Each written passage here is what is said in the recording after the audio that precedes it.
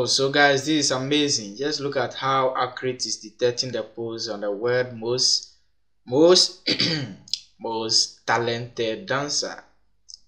With no doubt, Michael Jackson is the most talented dancer. But the module is very accurate, you can see. It's detecting the pose very well. It's just getting all the landmarks and everything was good, you know, guys.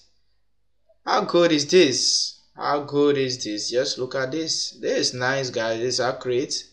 I think this is 99.9%.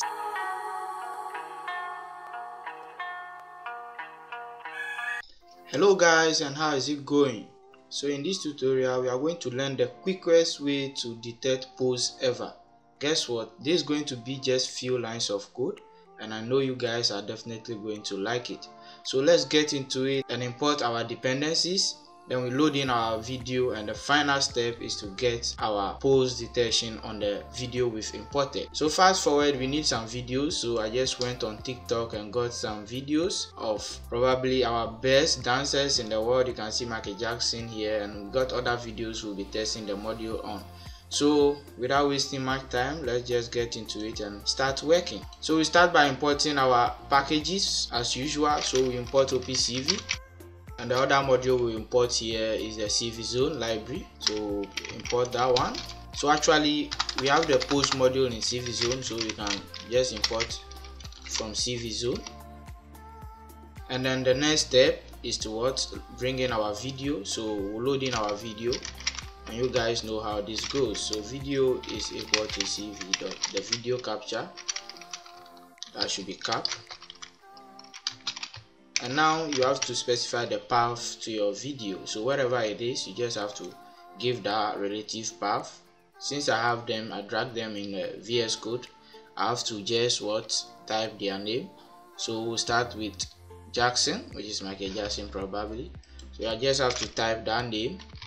That's jackson dot mp4 and that's all. So now we need a way to show this video so we have to just write some couple of code to do that. And i've taught this in previous video.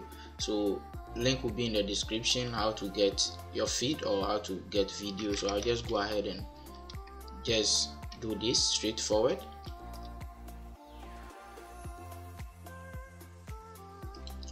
Okay so this is the bare minimum code we need to do this. So first we just take our frame by frame. So we created a while loop here. Then we get our video. We read our video in.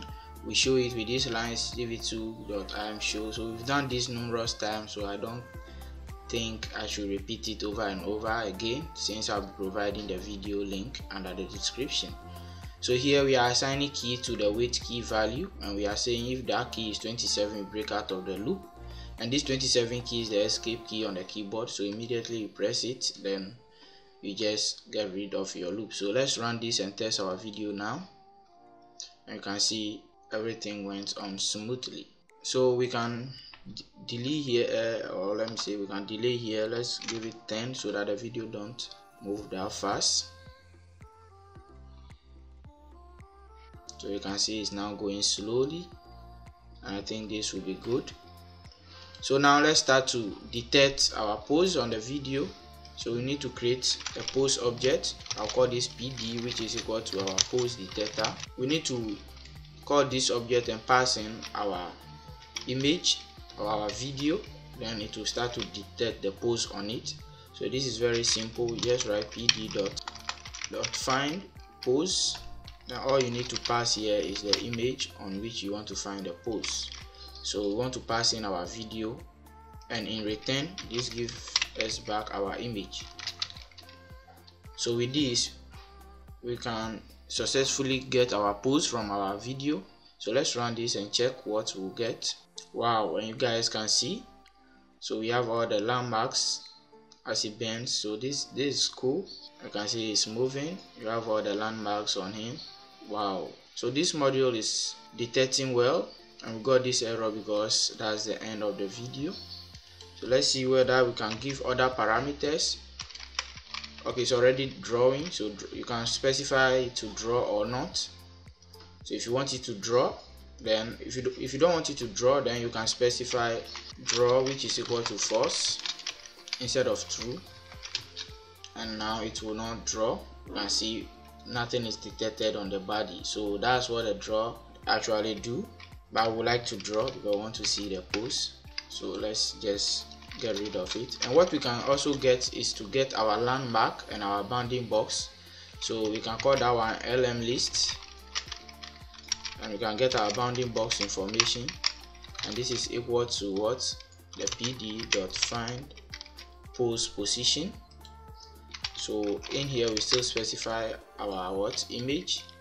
Then this will give us our bounding box. It will give us our landmark so all the landmarks on the body will get it in this variable which we can target a specific landmark that we work with. So now you can see we have the bounding box we have all the landmarks on it. So let me just get rid of this and print the landmarks.